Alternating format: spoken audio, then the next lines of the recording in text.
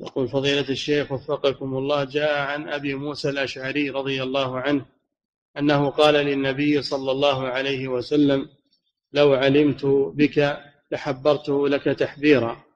فكيف الجمع بينه وبين القول بأن تحسين الصوت لأجل السامع يعد شركا؟ إذا كان يقصد من ذلك يقصد من ذلك المدح. إذا كان يقصد من ذلك المدح والثناء فهذا يعتبر من الرياء أما إذا كان يقصد من ذلك نفع المستمع يقصد من ذلك نفع المستمع وأبو موسى أراد أن الرسول يسر بهذا يسر بهذه القراءة وهذا الصوت من نعم الله على أبي موسى فإذا كان القصد منه حسنا ولا بأس. لكن إذا كان القصد منه المدح والثناء هذا هو المشكل نعم.